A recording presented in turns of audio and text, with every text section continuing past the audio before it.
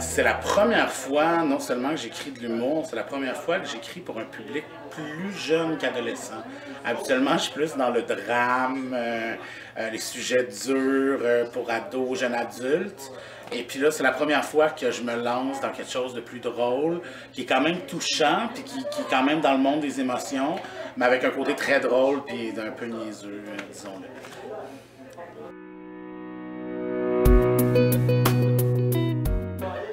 Henri Côté, euh, adopté. Il sait qu'il est adopté, mais il ne sait pas il vient d'où parce que ses parents refusent de lui dire jusqu'à temps qu'il ait 16 ans. C'est son grand malheur dans la vie. Il trouve qu'il est plate, que sa vie est plate, que tout le monde autour de lui est super éclaté euh, parce que ses amis sont très importants, ses sœurs sont très importantes pour lui, même ses parents sont hyper loufoques. Donc le grand malheur d'Henri, c'est de ne pas savoir son histoire et de ne pas connaître son histoire.